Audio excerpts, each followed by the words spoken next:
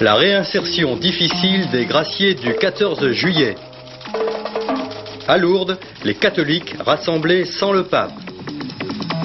Tension au Proche-Orient, les Palestiniens répliquent aux Israéliens. Pourquoi les Français délaissent-ils leurs voitures Mesdames, Messieurs, bonsoir. Près de 5000 détenus libérés depuis hier. Ce n'est pas l'effet de l'amnistie puisque le projet de loi qui a été adopté en Conseil des ministres n'a pas encore été voté par les députés. Il s'agit des conséquences de la grâce présidentielle du 14 juillet. La plupart des 4775 détenus étaient condamnés à de courtes peines et, seraient de toute manière sortis de prison avant la fin de l'année. Et c'est la première fois que le gouvernement prend des mesures budgétaire pour aider les détenus graciés ou amnistiés. Un crédit de 400 000 francs a été débloqué, ce qui veut dire, pour certains d'entre eux, l'attribution d'une petite somme à leur sortie de prison. Les besoins les plus impérieux, c'est le logement. Beaucoup ne savent pas où ils coucheront ce soir, beaucoup ne savent pas ce qu'ils vont manger à midi, et la plupart d'entre eux n'ont pas d'amis, pas de secours, pas de parents euh, qui les attendent. Euh, par conséquent, il faut essayer de les réconforter, de leur donner confiance pour les jours qui, euh, vont, qui vont se présenter, et surtout d'éviter qu'ils récidivent, car pour eux, le gros danger est là. Et concrètement, vous leur donnez un peu d'argent, euh, des bons de repas, euh, quoi d'autre? Nous essayons d'examiner le plus rapidement possible leur situation, de faire un tour d'horizon extrêmement rapide et de voir là où la difficulté la plus importante réside. Bien entendu, il y a toujours la question d'argent. Quand on sort de prison, on est presque toujours démuni d'argent. Alors, quand nous pouvons, nous donnons un peu d'argent, nous donnons des tickets repas. Combien d'argent? Oh, le- les sommes sont extrêmement variables. Ça peut varier entre une centaine de francs et peut-être euh, trois ou quatre cents francs, et même un peu plus dans la mesure où, nous les- où nos finances nous le permettent. Cet effort budgétaire se traduit par une espèce finalement de, de saupoudrage. Alors est-ce que vous, vous croyez que cette mesure peut être vraiment efficace?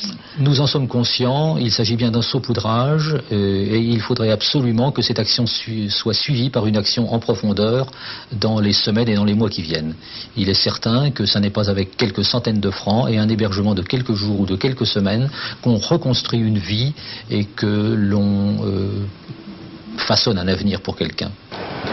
Effectivement, ces moyens comparés à une vie d'homme qu'il faut faire redémarrer peuvent paraître bien faibles, car ce sont précisément les plus démunis qui se tournent vers les comités de probation et d'aide aux libérés. Ils ont besoin d'aide et de confiance pour vivre cette liberté qu'ils attendaient si fébrilement. À force de nous dire euh, on va être libéré, la tension était tellement grande que ça a bien fini, euh, ça a presque fini en bagarre. Ça même ça m'a commencé, disons vraiment dernièrement, ça a commencé le 2, Le 2 juillet. le 2 juillet. Ensuite ça a été le 8. Et puis là bon ben entendu on est sorti le 15 et vraiment bah on apprécie mais on est vraiment abruti. On est vraiment abruti d'être dehors parce que tout a changé pour nous. Mais quand on va en prison, euh, je suppose qu'on cherche une seule chose, c'est à éviter d'y retourner. Non, ça serait, serait faux de dire ça. On ne nous laisse, pas le choix de pas y retourner. Quand il y a des gars qui n'ont absolument rien en sortant, même si on les aide bénévolement, ils veulent, ça c'est vrai, ils veulent, ils cherchent du travail, ils, euh, font tout pour essayer d'y arriver, mais euh, la délinquance est le plus fort. Et vous, vous venez de sortir maintenant. Comment est-ce qu'on vous aide à la sortie?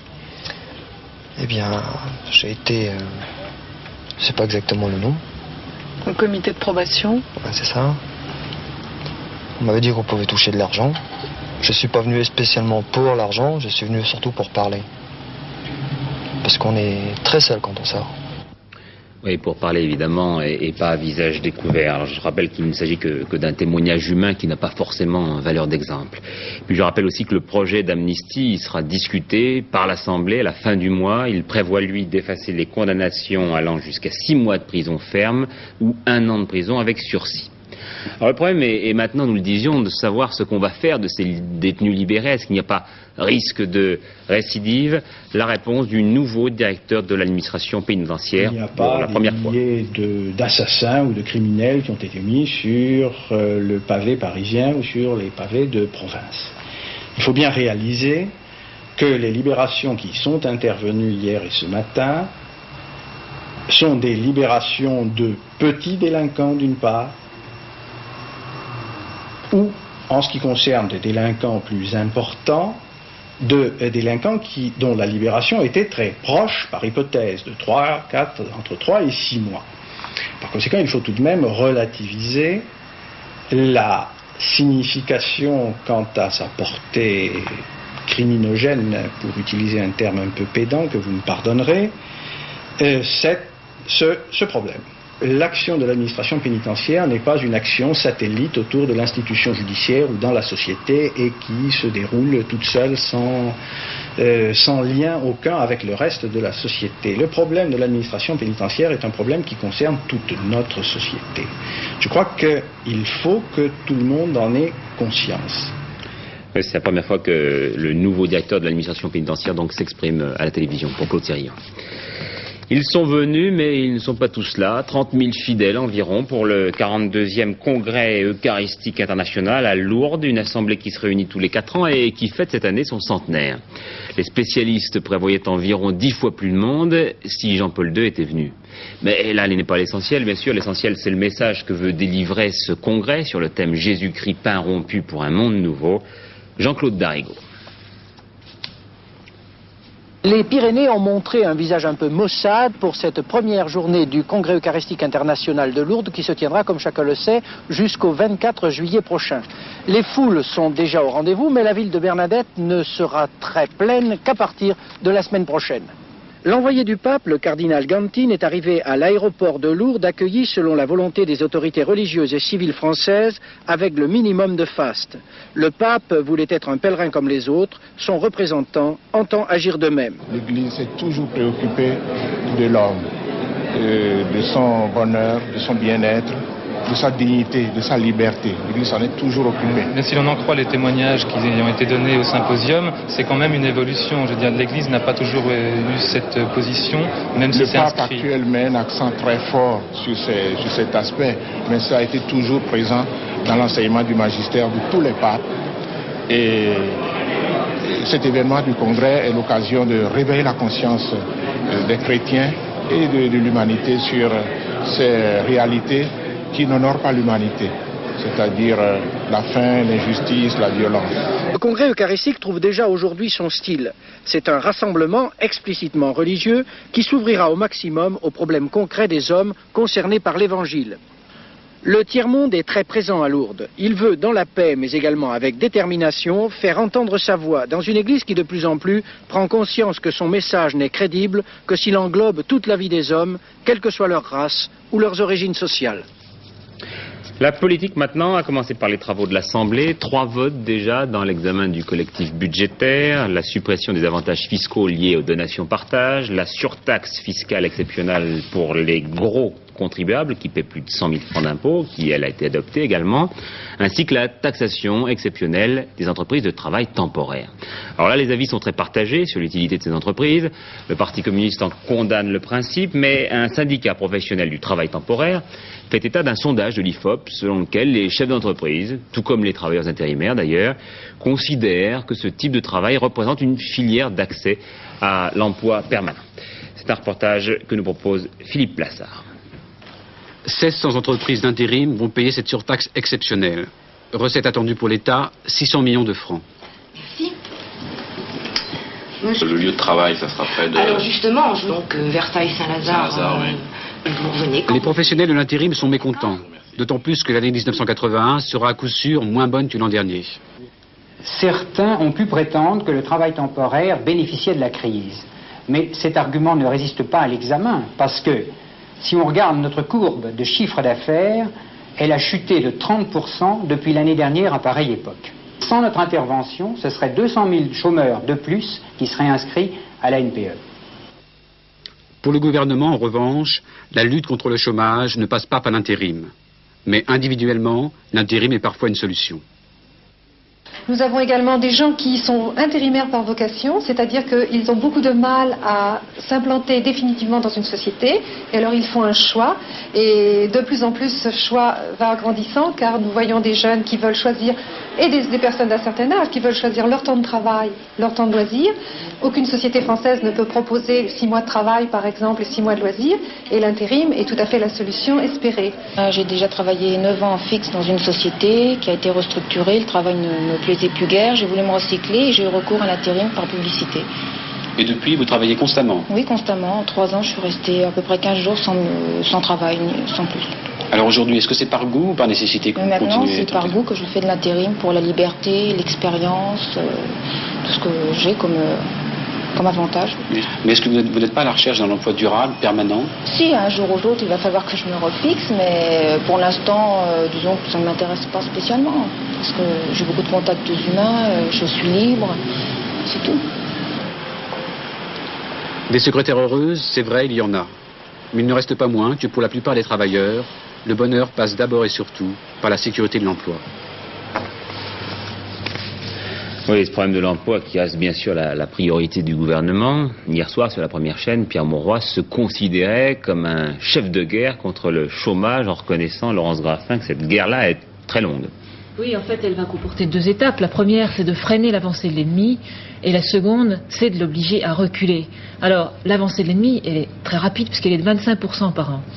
Une première offensive est lancée actuellement. Alors quel genre de contre-attaque? Des, commandos légers? Oui, voilà. Disons c'est les commandos légers, c'est la relance du pacte pour l'emploi revu et enrichi, la création d'emplois dans la fonction publique, et puis euh, des emplois aussi d'utilité locale. Ces mesures peuvent éponger le surcroît de main-d'œuvre qui arrivera sur le marché, ne peuvent pas renverser la tendance. Je crois que ce qu'a voulu dire M. Pierre Mauroy hier, c'est que l'emploi ne peut pas réagir immédiatement et massivement à des mesures et qu'on ne peut guère éviter de tourner autour de 2 millions de chômeurs pendant encore un an et demi à deux ans. Alors comment est-ce qu'on peut faire pour euh, faire reculer complètement l'ennemi alors ça, c'est euh, la deuxième étape, c'est pour renverser la tendance. Euh, c'est un peu l'artillerie lourde.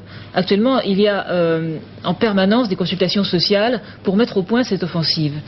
Alors, elle devrait être connue à l'automne. Elle porte sur plusieurs fronts, outre le front économique, bien sûr, euh, la réduction de la durée du travail, par exemple par la réduction du travail hebdomadaire, on va en discuter demain entre mmh. patronat et syndicats, la retraite à 60 ans, l'incitation à l'embauche, par exemple par la réduction des charges sociales des entreprises, le traitement des entreprises en difficulté, un effort aussi pour stabiliser les emplois précaires, on a parlé des emplois précaires tout à l'heure, et tout cela, et d'autres mesures encore, doit faire reculer progressivement le chômage. Mais à quelle date à peu près, euh, pas avant 4 Eh bien, disons à partir, ah si, euh, à partir de début 83, en tout cas ce qu'a dit euh, M. Mauroy, qui je crois euh, c'est surtout euh, de demander aux Français de ne pas se faire d'illusions. Et puis alors à un horizon plus lointain, on attend un renfort, c'est en 1985, les arrivées de jeunes sur le marché du travail deviendront égales au départ en retraite. Alors cela, évidemment, cela peut rassurer euh, ceux qui font des perspectives à long terme, cela ne change rien à l'urgence de la situation. J'ajoute euh, effectivement que cet après-midi à l'hôtel Matignon, on a parlé de la durée du travail dans les professions de l'agriculture et que Laurence nous le disait tout à l'heure, les négociations entre syndicats et patronat, l'échelon national cette fois, général, reprendront demain. Du côté du Sénat, maintenant, un grand débat sur la communication aujourd'hui. Le rapporteur général euh, Jean Cluzel a pris la parole pour dire qu'il n'était pas convaincu de la nécessité d'une nouvelle réforme, mais plutôt d'un aménagement. Cessons, a-t-il dit, de martyriser notre radio-télévision? Le ministre Georges Filiou lui a répondu en lui disant que le service public dans ce secteur était la propriété collective de la nation. Il ne doit en aucun cas appartenir à la fraction politique qui exerce le pouvoir d'État. Alors pour ce qui est maintenant des radios libres, il faut, a dit Georges Filiou, remédier à l'anarchie qui s'instaure. Si le droit d'émettre sur certaines fréquences doit être retenu, il doit aussi être organisé afin de combattre les intérêts mercantiles. Très vite, les plus puissants et les plus riches se rendraient maîtres des gammes d'ondes disponibles, dont ils auraient au fait d'éliminer tous les autres. Certains ont déjà commencé, ils doivent savoir qu'aucune antériorité, aucun droit acquis dans l'illégalité ne peuvent être et ne seront reconnus. En aucun cas, des autorisations d'émettre en dérogation du monopole ne seront accordées ni à des entreprises commerciales dont la vocation serait le profit et la destinée la concentration, ni à de nouveaux monopoles locaux, que leur support soit financier municipales, syndicales ou politiques. Les seules stations qui pourront être autorisées à titre précaire et révocable après signature d'un cahier des charges devront souscrire aux exigences suivantes statut d'association à but non lucratif, diffusion de programmes originaux, interdiction de constitution de réseau, respect des obligations de la législation sur la presse. En ce qui concerne la publicité, le gouvernement et le Parlement auront, le moment venu, à se prononcer pour décider si elle devra être, totalement proscrite ou bien acceptée dans des conditions limitatives, précises et contrôlées. En attendant, les messages publicitaires ne sauraient être admis. Le ministre de l'Éducation, Alain Savary, a lui parlé à nouveau de la laïcité de l'enseignement, en estimant que le point de vue du syndicat national des instituteurs n'engageait que ce syndicat. La tension franco-mexicaine, cela s'arrange. La compagnie française des pétroles achètera à nouveau en août du brut mexicain. La réunion internationale socialiste à Bonn, on y a beaucoup parlé des euromissiles. Pour Lionel Jospin, le problème des armes stratégiques en Europe concerne d'abord et surtout les Européens. Voilà qui nous amène donc à l'actualité internationale, avec d'abord la situation au Proche-Orient qui se dégrade. Encore un raid israélien cet après-midi contre un camp de réfugiés palestiniens qui abrite 24 000 personnes dans la banlieue sud-est de Saïda. 14 morts. Il faut dire que la veille, les Palestiniens avaient violemment répliqué aux raids israéliens. Plus de 300 roquettes ont été tirées. Philippe Rochaud. Depuis deux jours, c'est la panique dans la petite ville de Kiryat Shmona au nord d'Israël. Roquettes et obus de 130 mm tirés par les Palestiniens depuis le sud Liban ont fait trois morts et une vingtaine de blessés pour la première fois depuis quatre ans. Israël affirme que pour frapper ainsi, les Palestiniens ont reçu des renforts et de nouvelles armes de Libye et de Syrie. Mais ces bombardements mettent M. Begin, le Premier ministre israélien, au pied du mur. Il avait promis plus de roquettes sur Kiryat Shmona, le pays est défendu, il doit aujourd'hui frapper ou se discréditer. Begin a choisi la riposte, les raids en profondeur au Liban contre les camps palestiniens ou leur quartier général, comme ici à Nabatillé, ont fait une quinzaine de morts depuis le début de l'après-midi. On s'attend au Liban Sud à une action de grande envergure de l'armée israélienne, comme à l'automne 78 contre les Palestiniens, mais aujourd'hui, le risque d'un affrontement direct avec l'armée syrienne présente aux côtés des Fédayines est devenu plus grand. L'attentat de Bangui avant-hier soir dans un cinéma, on connaît l'identité du coopérant français qui est mort, Pierre Rouillet. Cinq autres Français ont été blessés et évacués sur Libreville au Gabon. Pologne, toujours la plus grande confusion. On ne sait toujours pas si M. Kania sera reconduit à la tête du parti. En revanche, ce qui a été décidé cette nuit, c'est l'exclusion du parti de M. Girek, qui fut pendant près de dix ans le chef de la Pologne. Et puis, tout au long de ce congrès, on a beaucoup parlé des problèmes économiques que traverse le pays. Des problèmes de prix, d'approvisionnement aussi, dont nous rend compte notre envoyé spécial à Varsovie, Gérard Sebag.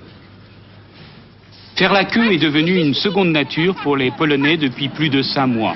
C'est l'obsession de toutes les familles. Il faut d'abord se lever très tôt le matin, parfois 5 heures, et attendre devant la porte d'une boutique sans avoir la certitude qu'il y aura quelque chose à vendre. Évidemment, faire la queue est plus important que le travail et l'on constate un absentéisme accru dans les entreprises. Tous les membres de la famille se relaient et patientent, une attente qui parfois est récompensée. Est-ce qu'on peut demander à la dame ce qu'elle a dans son sac? Il y en a une boîte de piscine. De détergent, c'est ça, une boîte de détergent pour euh, faire la lessive. Lessive. Ça, une quoi? bouteille pour la plonge. Pour euh, la vaisselle. La vaisselle.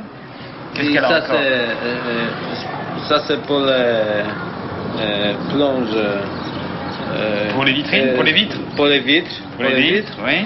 Et ça, c'est le shampoing. Le shampoing, pour les Shampoing. cheveux. Qu'est-ce qu'elle a encore? Elle a une, une savonnette. Une savonnette. Et puis ça, c'est des, des lames de rasoir, oui. Une heure et demie d'attente et tous ces produits pour un mois. Mais c'est surtout la viande qui fait le plus défaut en Pologne. Un rationnement draconien a été imposé et souvent, à l'ouverture des boucheries, des bousculades éclatent. Les Polonais ont droit par mois et par personne à 400 grammes de viande de première catégorie, c'est-à-dire sans eau. On attribue 50 grammes de plus pour les travailleurs de force, 850 grammes de viande avec os ou de charcuterie, plus un poulet. Tout cela, vous ne pouvez l'obtenir qu'après une longue attente et le boucher est obligé de découper les cartes de rationnement. Les cartes bleues sont celles de la viande et pour éviter les fausses cartes, la couleur change chaque mois.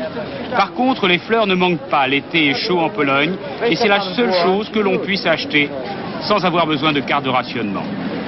À chaque coin de Varsovie, on est frappé par le nombre impressionnant de ces files d'attente. Quant à l'essence, il est aussi très difficile d'en obtenir.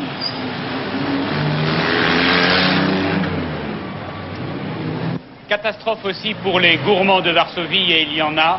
Bliklier, le plus célèbre pâtissier de la ville, qui depuis 1869 transmet la tradition des ponchki, une sorte de beignet à la confiture, a été obligé de fermer ses portes par manque de sucre et de farine.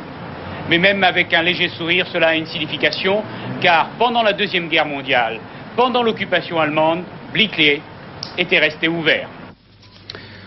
Irlande, l'un des grévistes de la faim a reçu ce matin l'extrême onction. Kieran Doherty ne s'alimente plus depuis 56 jours. Une délégation de la Croix-Rouge a rencontré des représentants du Foreign Office et elle vient d'arriver à Belfast.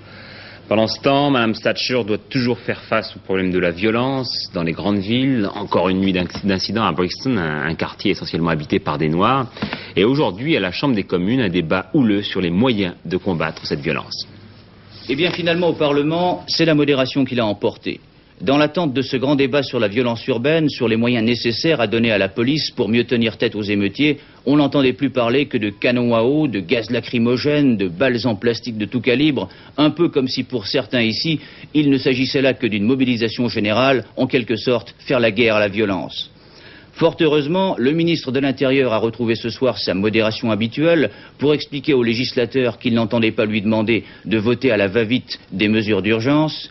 Bien sûr, de nouvelles armes seront fournies à la police, mais celle-ci ne pourra les utiliser qu'après un entraînement spécial, sous strict contrôle, uniquement dans les cas extrêmes. Cela, le gouvernement y veillera.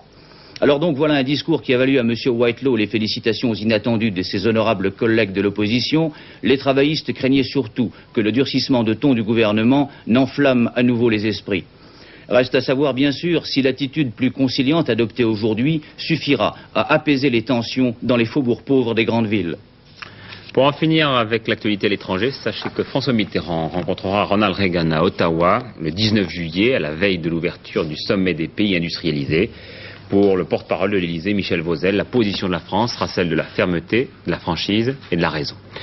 Les deux hommes parlons peut-être aussi de la Libye, puisque Washington vient de faire savoir que les Américains entendaient demander des éclaircissements à Paris après la levée de l'embargo français sur les armes. Visiblement, Washington n'est pas d'accord.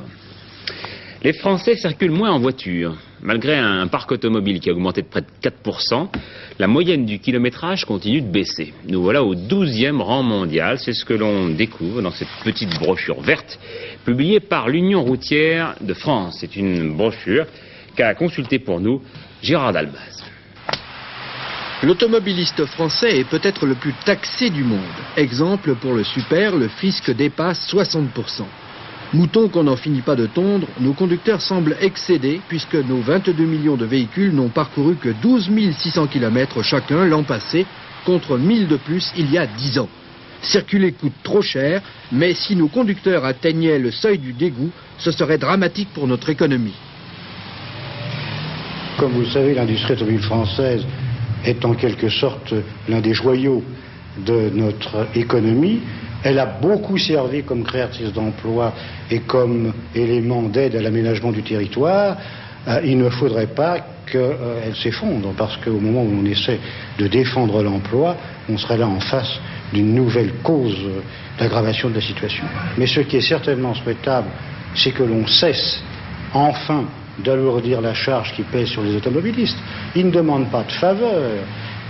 Les automobilistes paient comme tout le monde, les impôts normaux. Et ils payent de surcroît des impôts supplémentaires, des charges supplémentaires qui vont atteindre, qui ont atteint l'année dernière et qui vont atteindre cette année plus de 70 milliards de francs actuels. Ce qui est colossal si vous le rapportez euh, au nombre d'automobilistes. Et de surcroît, sur ce total considérable, il ne redescend au niveau de la construction et de l'entretien des routes qu'une fraction ridiculement faible. tout augmente. je pense que bon, les gens ils ont moins d'argent, alors bon, ils ont plus tendance à garder leur voiture. Le crédit c'est un peu effrayant parce qu'il a augmenté depuis euh, quelques temps, mais euh, certaines personnes le supportent encore parce qu'ils achètent une voiture pour s'en servir. Ils ne s'en servent pas tout le temps, euh, toute la semaine, et comme ils s'en servent le week-end, bah, ils acceptent quand même ce, prix. Nous, personnellement, nous faisons un peu plus attention. Ça, ça commence à chiffrer.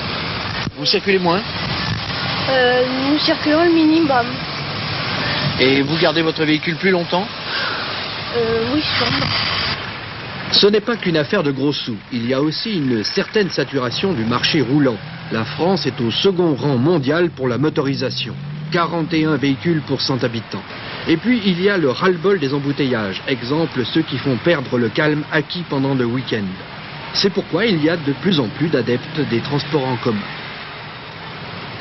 les Français consomment un petit peu moins d'essence, 0,2% de moins pour le premier semestre. Un hold-up ce matin dans une fabrique de bijoux à Lyon, 5 millions de francs de butin. Les gangsters étaient quatre et n'ont pas lésiné sur euh, les moyens. Ils ont tout simplement assommé à coups de matraque une dizaine d'employés. Les blessés sont pour l'instant à l'hôpital et on n'a pas plus de détails sur ce coup de main. Autre fait divers dramatique, la nuit dernière, à Paris, un incendie rue des Abbesses, dans le 18e arrondissement, au pied de la butte Montmartre. Ce sont finalement 6 morts et 29 blessés que les pompiers ont découverts à l'aube, après avoir lutté toute la nuit contre le feu. L'enquête ne fait que commencer. On sait simplement qu'il y a eu une bagarre au rez-de-chaussée de l'immeuble, juste avant le début du sinistre. Les sports maintenant avec tout d'abord l'arrivée à Brest du Prao de Guy Delage et de ses trois équipiers. Ils sont arrivés en seconde position derrière Marc Pajot dans la traversée ouest-est de l'Atlantique. Mais ils ont quand même battu, eux aussi, le vieux record de Charlie Barr, Dominique Leglou. Le Prao, mais oui, vous savez, ce bateau dérivé des pirogues polynésiennes. Un bateau qu'on disait vous aux échecs après les tentatives malheureuses des différents Praos engagés dans les transatlantiques. Guy et Danny Delage n'avaient pu participer au parcours aller de la Transat, leur prao ayant été heurté par un autre concurrent sur la ligne de départ. Ils ont alors embarqué leur bateau sur un cargo pour tout miser sur le retour. Leur confiance a eu raison des risques, ils ont aujourd'hui convaincu les commanditaires réticents en prenant la seconde place derrière Marc Pajot. Autre record battu en planche à voile, cette fois celui de distance et d'endurance par Stéphane Perron, plus de 500 km en 52 heures à la Baule.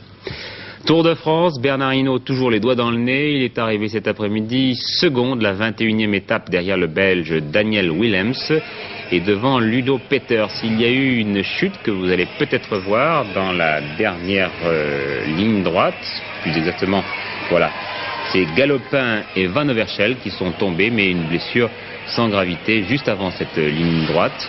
Au classement général, Bernard Hinault que vous voyez ici arriver donc derrière Willems a plus de 12 minutes d'avance sur Lucien Van Imp, près de 14 sur Robert Alban et plus de 15 sur Zoutmelk. Automobile, à l'issue de la première journée du Grand Prix d'Angleterre à Silverstone, ce sont les Français Arnoux et Prost qui ont réussi les meilleurs temps. La météo maintenant avec euh, Laurent Broumed, sans pochette. Non, et avec une cravate euh, de couleur rouge qui ne veut d'ailleurs rien dire. Comme la mienne. voilà, absolument. Un nouveau passage de nuages demain sur la France, ça pourrait être une mauvaise nouvelle, c'est vrai, mais disons tout de même que le soleil reviendra assez vite et je pense qu'il fera encore un temps un peu plus ensoleillé samedi et surtout dimanche. Les températures relevées cet après-midi à 14h, vous voyez toujours 10-12 degrés d'écart entre le nord-ouest et le sud-est, 17 degrés à Brest et 30 degrés à Marseille. Il n'y a guère que dans les régions méditerranéennes que les températures sont tout à fait de saison. La carte pour demain, ben, vous voyez, cette ligne de nuages dont je vous parlais, située le matin de la Vendée, de la Charente jusqu'au nord-est, les Vosges et les Ardennes, avec quelques pluies, qui se décalera lentement vers le sud-est en prenant un caractère orageux. Sur la région méditerranéenne, toujours du soleil et de la chaleur. Les nuages, c'est pour après, c'est pour samedi. Dans tout le sud-est du pays, un ciel généralement assez nuageux et tout de même des éclaircies. Et puis l'arrivée donc de ces nuages avec des orages dans la journée. Sur le reste du pays, c'est-à-dire tout le nord-ouest, eh bien un temps variable avec alternance d'éclaircies, assez belle tout de même progressivement par le nord-ouest, et de passages nuageux avec encore quelques averses et une petite chute des températures. Les températures, eh bien, on en parle, les voici, les voilà, de 13 à 19 degrés le matin et de 18 à 30 degrés l'après-midi. Vous voyez qu'elles sont un peu plus fraîches qu'aujourd'hui dans le nord et dans l'ouest du pays, toujours aussi agréable dans le sud-est. Enfin, l'agenda. Demain, je constate que c'est la Sainte Charlotte. Alors, ma foi, bon appétit. Bien, le dernier journal sera présenté par Jean-Claude Alanic aux alentours de 23h20 et demain, antenne de midi, recevra Annie